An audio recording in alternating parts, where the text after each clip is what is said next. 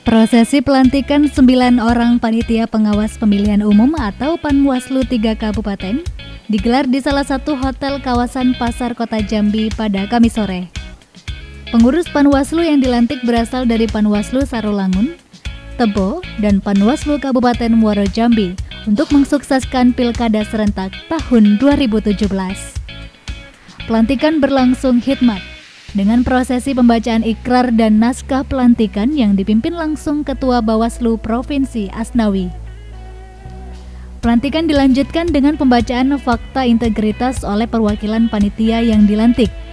Selain Bawaslu Provinsi Jambi, turut hadir dalam kesempatan ini perwakilan Bawaslu Republik Indonesia Nelson Simanjutak. Dalam sambutannya, Ketua Bawaslu Provinsi Asnawi meminta seluruh panitia yang baru saja dilantik bekerja keras ikut mengawal serta mensukseskan terlaksananya pemilihan umum yang bersih.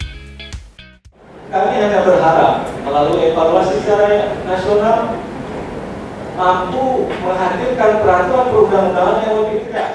Sebagai pengawas pemilu memikul tanggung jawab yang besar karena harus berlaku adil dalam melaksanakan tugas.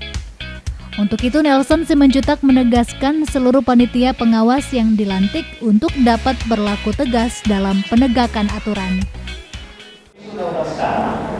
Eh, selain mencantumkan ancaman pidana terhadap perbuatan seperti itu, juga sedang belajar untuk memberikan kewenangan kepada kepada kita masuk di provinsi untuk menjatuhkan sanksi pemberhentian atau pembatalan terhadap pasangan calon yang terbukti